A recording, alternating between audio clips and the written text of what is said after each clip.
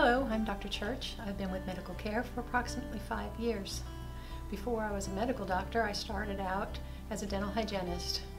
After earning my associate degree, I worked full-time doing dental hygiene and going to school in the evenings to get my bachelor's degree. I then went on to get my medical degree from Saba University and finished up my family practice residency in Carilion in Roanoke, Virginia.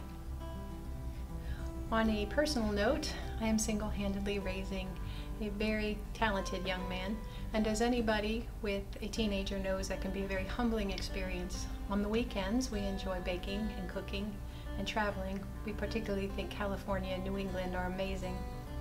On a professional level, I'd like to say I find the human body to be the most amazing creation, and that when you combine mind, body, and spirit while treating the entire individual, you get the most successful results.